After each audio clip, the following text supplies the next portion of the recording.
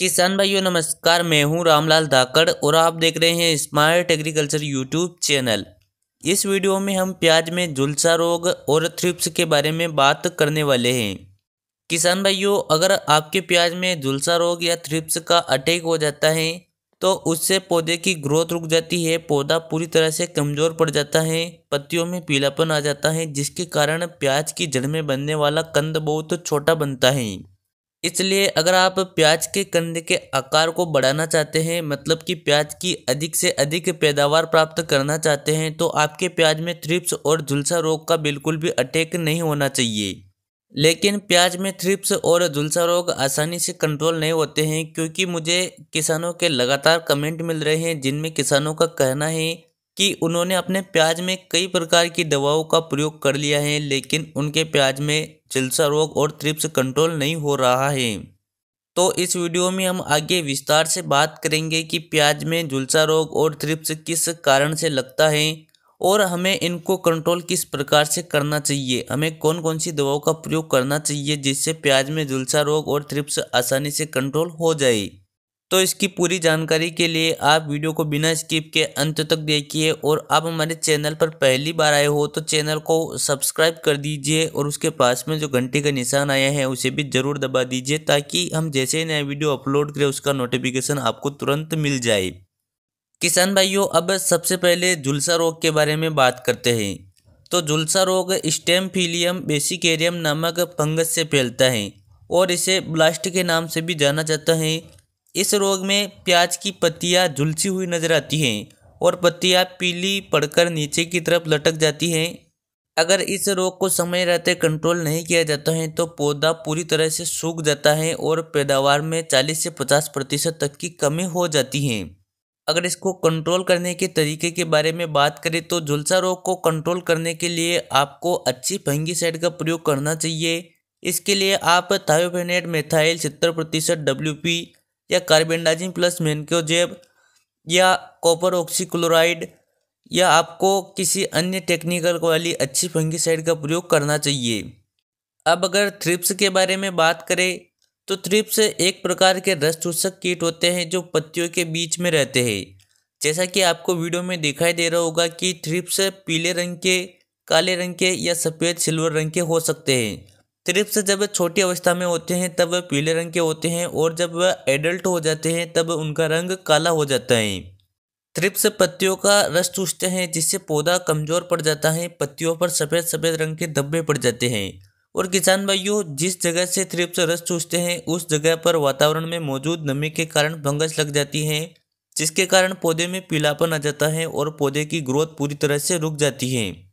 इसलिए प्याज में समय रहते थ्रिप्स को कंट्रोल करना बहुत ज़्यादा ज़रूरी है, लेकिन थ्रिप्स आसानी से किसी भी दवाई से कंट्रोल नहीं होते हैं।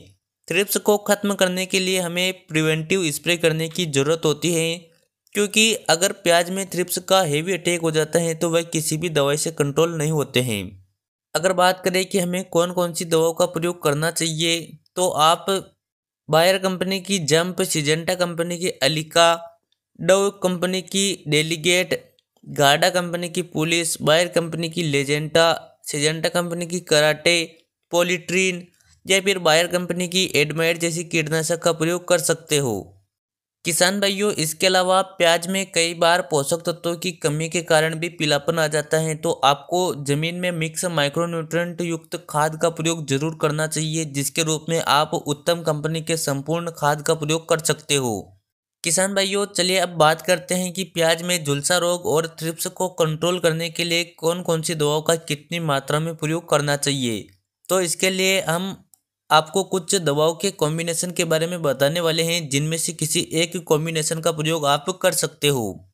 तो पहले कॉम्बिनेशन में आप एक एकड़ में अस्सी एम एल डव एग्रोसाइंस की डेलीगेट कीटनाशक और 80 ग्राम बायर की नेटिव फंगीसाइड और इसके साथ 250 सौ एम सिलिकॉन चिपको इनको मिलाकर स्प्रे कर सकते हो। इसके अलावा आप दूसरे कॉम्बिनेशन में एमिडाक्लोप्रिड 40 प्रतिशत प्लस पिप्रोनिल 40 प्रतिशत का प्रति एकड़ 50 ग्राम मतलब कि जो बायर कंपनी की लेजेंटा है या गार्डा कंपनी की पुलिस है, इनमें से किसी एक कीटनाशक और उसके साथ 150 सौ पचास M L Amistar Top fungicide और उसके साथ 250 सौ सिलिकॉन चिप को, इन तीनों को मिलाकर स्प्रे करोगे तो भी आपको बहुत ही अच्छा रिज़ल्ट मिलेगा। इसके अलावा, अगर आपके प्याज में थ्रिप्स का ज़्यादा अटैक नहीं हो रहा है, आप अगर प्रिवेंटिव में स्प्रे करना चाहते हो तो आप एक एकड़ में 250 सौ पचास एम एल प्रोपेनोपोस चालीस प्रतिशत प्लस साइपरमेथिन चार प्रतिशत और उसके साथ 250 सौ पचास एम एल लेमड़ा साइलोत्रिन पाँच प्रतिशत इसी उसके साथ 250 ग्राम टाटा ताकत फंगीसाइड और 250 एम सिलिकॉन चिप को इनको मिलाकर भी स्प्रे कर सकते हो। या आप सिजेंटा कंपनी की क्यूराक्रोन कीटनाशक, जिसमें होता है प्रोपेनोपोस 50 प्रतिशत। इसका प्रयोग 300 सौ प्रति एकड़ और उसके साथ 250 ग्राम रोको फंगीसाइड और 250 ml सिलिकॉन चिप को मिलाकर स्प्रे कर देना चाहिए। किसान भाइयों, मैंने आपको चार कॉम्बिनेशन के बारे में बताए हैं, जिनमें से दो कॉम्बिनेशन का प्रयोग ज़्यादा अटैक होने पर करना चाहिए और दो कॉम्बिनेशन का प्रयोग कम अटैक होने पर करना चाहिए। और कंडीशन के हिसाब से आप अपने प्याज में टोनिक या पीजीआर का प्रयोग भी कर लीजिए। जैसे कि 80 दिनों के बाद अगर आप स्प्रे कर रहे हो तो N P K zero zero पचास और सिजेंटा कल्टार का प्रयोग भी उसके साथ में कर लेना। और अगर आप साठ दिनों पर कर रहे हो तो एनपीके ज़ीरो बावन चौतीस जैसे खादों का प्रयोग कर लेना। तो किसान भाइयों, अगर आप वीडियो में बताए गए स्टेप्स को फॉलो करते हैं तो आप अपने प्याज में झुलसा रोग और थ्रिप्स को आसानी से कंट्रोल कर सकते हो। तो आपको वीडियो कैसा लगा, वीडियो के बारे में आपकी क्या राय है कमेंट करके अवश्य बताइए। वीडियो पसंद आया हो तो लाइक शेयर और चैनल को सब्सक्राइब ज़रूर करें। चले मिलते हैं अगले वीडियो में। जय जवान, जय किसान।